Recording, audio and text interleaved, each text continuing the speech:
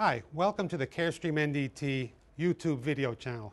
I'm Steve Mango, Technical Manager for Carestream NDT, and today I'm going to give you an overview of the HPX1 computed radiography system showing all the various system components.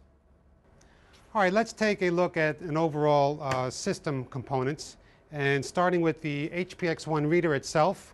Uh, you notice it's a compact box. It's on vibration damping feet to isolate the reader from the industrial environment.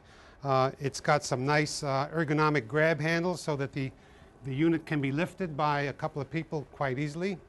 Uh, there's a filter in back through which uh, there's an airflow going through the filter to create a positive pressure in the machine that keeps out all the dirty, dusty environment if you're working in a foundry or similar uh, harsh environment.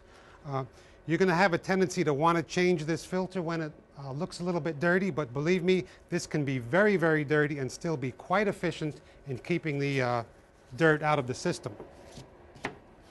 On the front, we have the feed tray. It has a cover to protect the exposed plate from the ambient light. Uh, so you'll load the plate in there, put that down, and that, that's for feeding the flexible plates. Uh, there's a status light on front. It's blinking now, meaning I haven't started up the software, so the reader's telling me it's not quite ready yet. Uh, behind there is uh, the power switch. Back of the reader has a power switch.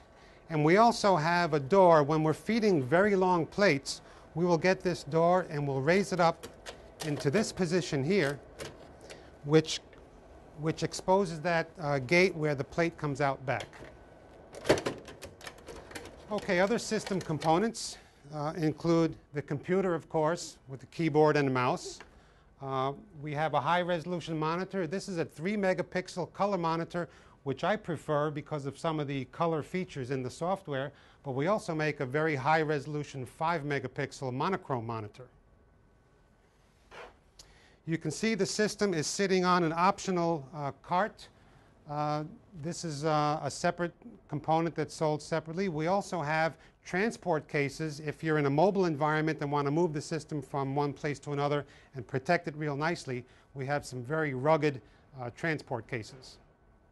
For extreme portability for field applications, we also have available a laptop which replaces the big monitor and the tower computer. So the system would consist only then of the, the reader and the laptop, making it very portable.